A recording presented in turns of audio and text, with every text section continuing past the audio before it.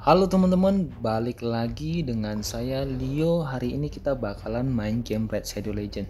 Jadi seperti yang di judul sama di thumbnail, saya bakalan eh, kasih tips ya untuk bikin sepatu atau boots yang super cepat. Kenapa saya bikin tips ini? Karena mungkin banyak orang yang masih salah cara ya untuk ngedapetin sepatu yang super cepat. Karena apa? Sepatu yang cepat, speednya cepat. Uh, teman-teman usahakan untuk di awal game gak usah terlalu muluk-muluk untuk ngedapetin sepatu yang tipe legend atau epic. Yang penting dia uh, primer statusnya itu sudah speed.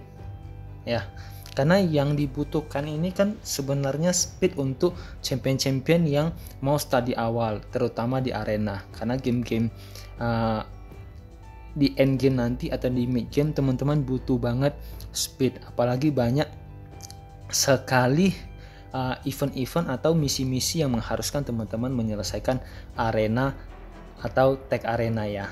Dan pun sebenarnya speed ini dibutuhkan banget. Mungkin saya di sini saya bakalan nunjukin arbiter saya memang pakai sepatu speed yang tipe legend. Ya. Tetapi kalau teman-teman butuh untuk ngedapetin sepatu tipe speed ya yang setnya speed juga dan status prima primarinya itu speed teman-teman biasanya bakalan farming di dragon benar kan? Teman-teman bakalan farming di dragon. Dan chance untuk ngedapatin uh, artefak tipe speed itu kecil ya teman-teman karena terbagi dengan berapa? 1 2 3 4 5 6 7 8 9 9 tipe. Ya artefak yang teman-teman bisa ngedapetin di arena eh di arena di Dragon. Dan teman-teman berarti punya 11% kesempatan untuk ngedapatin speed. Oke? Okay? dan itu masih dibagi 6 ya. 11 bagi 6 berarti teman-teman hanya punya 1,8% begitu untuk ngedapetin sepatu tipe speed. Dan masih ada pembagian lagi. Ada epic legend ya uh, dan rare biasa dan itu teman-teman harus dibagi lagi untuk bisa ngedapetin tipe speed atau bukan. Ya jadi teman-teman nggak pasti fix ngedapetin speed. Berarti teman-teman perjuangan teman-teman untuk ngedapetin sepatu speed itu hanya mendapatkan sepatu tipe speed itu di dragon itu panjang luar biasa perjalanannya. Jadi saya pada awalnya saya kewalahan untuk ngedapetin bintang 6 yang tipe speed. Jadi ada saran dari teman saya untuk nyarinya di sini teman-teman. Sebenarnya gampang banget. Teman-teman nyari di sini ya. Place of Arafia di campaign tapi teman-teman pilih yang nightmare. Teman-teman hajar di sini. Di sini kan bakalan dapatin fix uh, artefak speed, uh, speed ya tapi memang uh, primary statusnya belum tentu speed ya tapi chance teman-teman untuk ngedapatin sepatu dengan primary status speed itu lebih tinggi daripada teman-teman main di arena. Kenapa saya saranin begitu? Karena misalnya teman-teman main untuk arti arbiter. Arbiter itu kan fokus utamanya itu speed. Jadi kalau teman-teman pakai India sepatu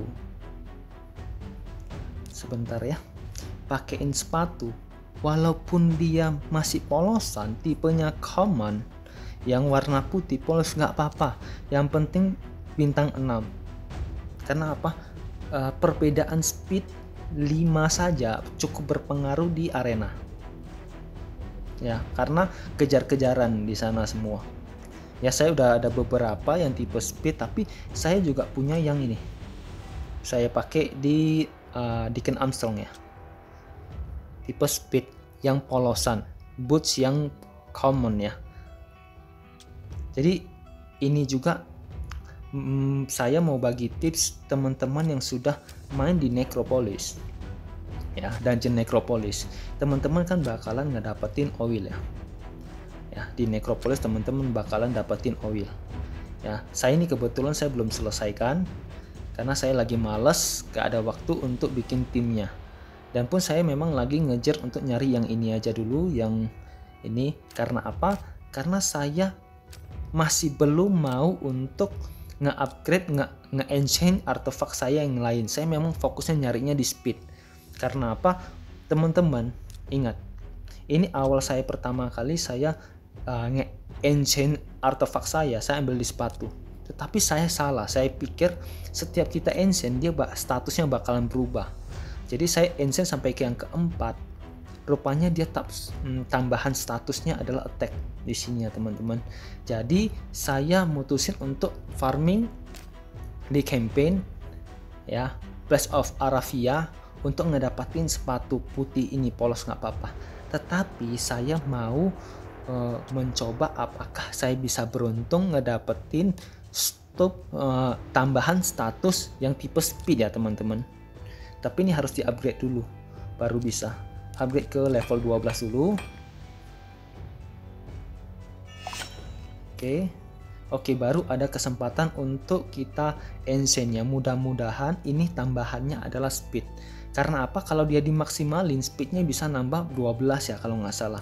Kita coba yang pertama speed. Ah ini enggak oke dia memang maksimal HP-nya bisa tambah 1224 tapi kita nyarinya di sini yang bisa tambahan speed ya.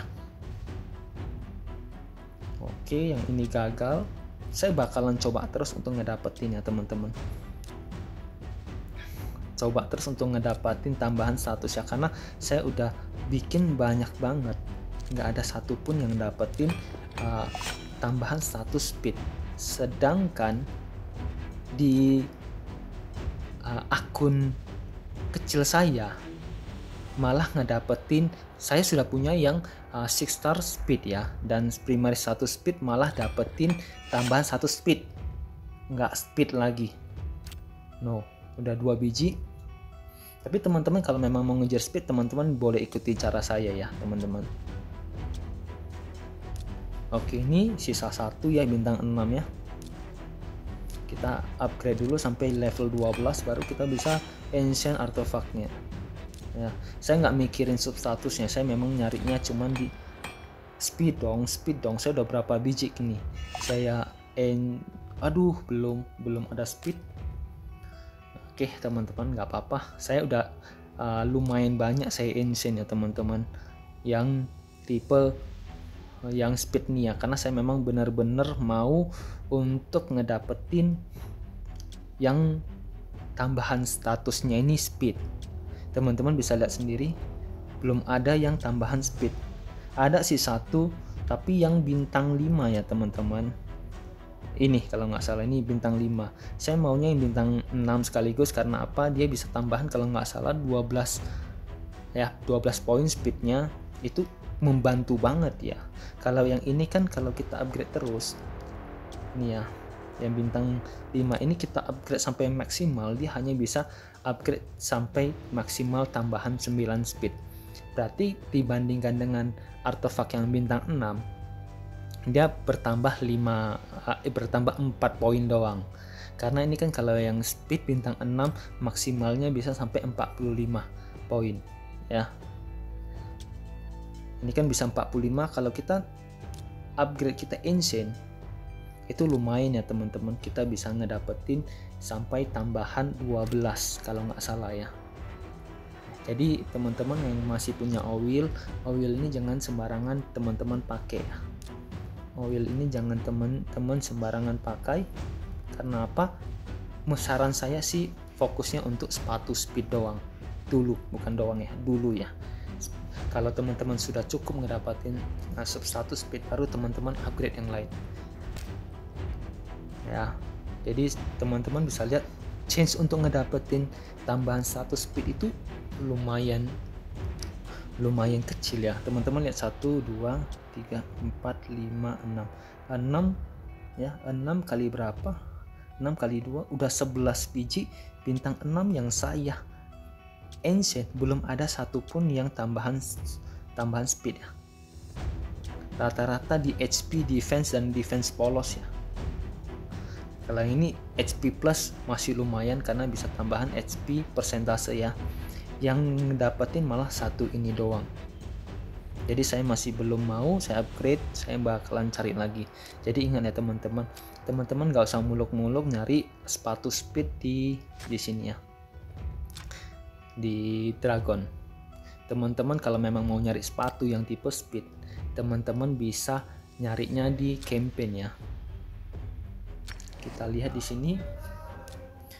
Kalau teman-teman yang sudah sanggup di campaign uh, nightmare ya kalau masih belum ya harus sabar.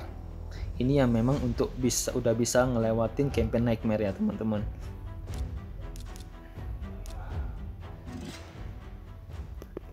Oke kita gaskan. Mudah-mudahan bintang 6 ya. Bintang 6 dapat status speed. Kan lumayan ya. Oke kita lihat ya. Ini kui untuk uh, nightmare GG dia teman-teman.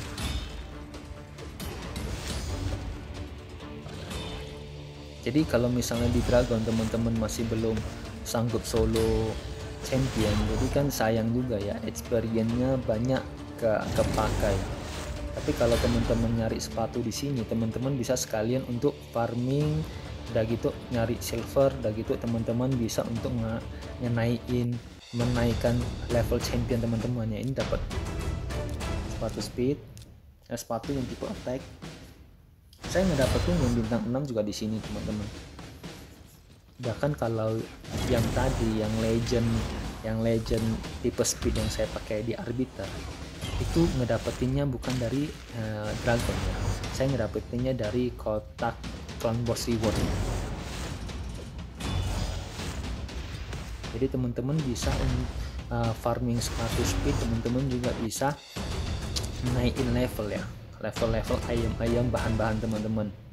Kan lumayan kan bisa 15 ribuan teman-teman kalau teman-teman belum ada nuker yang bagus untuk di nightmare teman-teman bisa pakai tanker nuker juga ya misalnya teman-teman pakai uh, ultimate deck knight.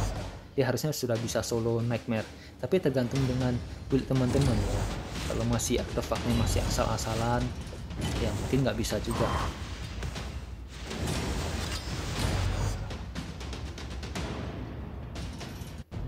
mendapatkan sepatu oke. Rata-rata sih memang bintang 4 dan bintang 5